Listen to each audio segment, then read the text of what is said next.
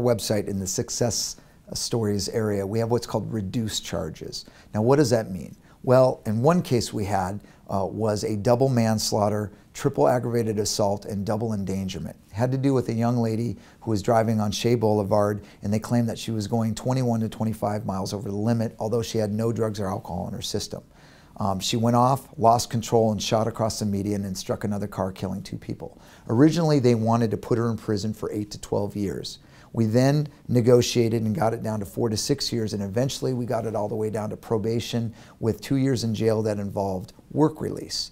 Now, there are some other factors in the case that weren't promising, and this young lady did not want to go to trial. But by pleading and doing what was called work release, she could go to work every day, and then she went and did uh, time at the jail at night. And keep in mind, this was for a double homicide.